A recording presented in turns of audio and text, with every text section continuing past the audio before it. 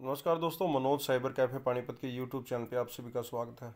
दोस्तों, नर्सरी से पहली कक्षा तक जो एडमिशन हो रहे हैं, उसके रिगार्डिंग कल मैंने एक ट्वीट किया था और वीडियो बनाई थी और आपको बताया था कि किस तरीके से आप जो है शिकायत कर सकते हैं कि आपका स्कूल फार्म जमा नहीं कर रहा है और कोई डीईओ आपको मना करता है कि हमें उसके बारे में पता नहीं है तो आप उसकी शिकायत कैसे कर सकते हैं? पूरी जानकारी मैंने आपको बताई थी। कल मैंने एक ट्वीट किया था और आपको करके भी दिखाया था, उसका मैंने कि फॉर्मेट भी आपको दिया था कि आप अपने तरीके से जो है उसको ट्वीट को कर सकते हैं। कल मैंने कि ये ट्वीट किया था।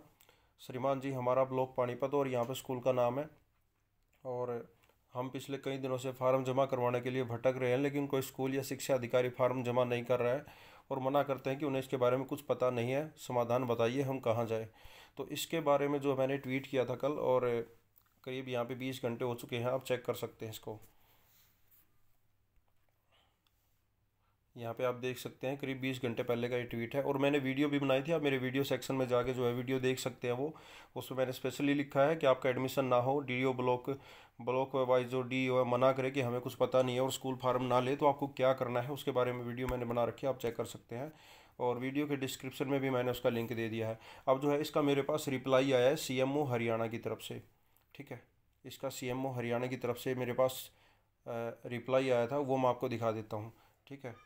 तो ये मेरा मैसेज का फॉलो के नीचे आप यहाँ कोने में देख सकते हैं। ये मैसेज का बॉक्स है। स्पेशली यहाँ पे आप चेक कर सकते हैं। ठीक है? तो ये सीएमओ हरियाणा की तरफ़ से ट्वीट है। उसका जो है रिप्लाई मेरे पास आया है। कृपया अपना मोबाइल नंबर बताएँ ताकि संबंधित विभाग आपसे संपर्क कर सके। धन्यवाद। तो आप सभी से रिक्वेस्ट है, यदि आपके बच्चे का फार्म आप कहीं एडमिशन के लिए जमा करवा रहे हैं और जमा नहीं हो पा रहा है स्कूल मना करता है, ये नर्सरी से पहली क्लास तक की बात हो रही है तो उनका फार्म यदि कोई डीओ मना करता है कि हमें इसके बारे में पता नहीं है या स्कूल जमा नहीं करता है तो उस केस में आप जो है ऐसे ही एक ट्वीट ज़रूर डालें और फिर उनको जो है अपने आप इस चीज़ का एहसास हुआ कि वो क्या कर रहे हैं। तो सभी को इसके बारे में पता है, लेकिन प्राइवेट स्कूल है जो एडमिशन नहीं ले रहे हैं, वो कोई गवर्नमेंट के साथ इश्यू चल रहा है तो आप जो है इस तरीके से आप ट्वीट ज़रूर करें और जो मैंने ट्वीट किया था आप सभी को दिखाया भी है और इसका फॉर्मेट मैंने कल वीडियो के डिस्क्रिप्शन में भी डाला था कि वहाँ से आप जो है इसको अपने तरीके से ट्वीट ज़रूर करें, ठीक है?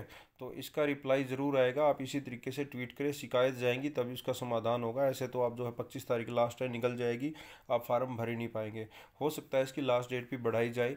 अभी गवर्नमेंट की तरफ़ से नए इंस्ट्रक्शन जारी कर दिया जाए तो आप जो है रेगुलर मेरे यूट्यूब चैनल के साथ जुड़े रहे और हर तरह की जो है जो आपको दिक्कतें मिल रही हैं, उनका समाधान यहाँ पे बताया जाएगा। वीडियो देखने के लिए बहुत बहुत धन्यवाद। जय हिंद, जय भारत।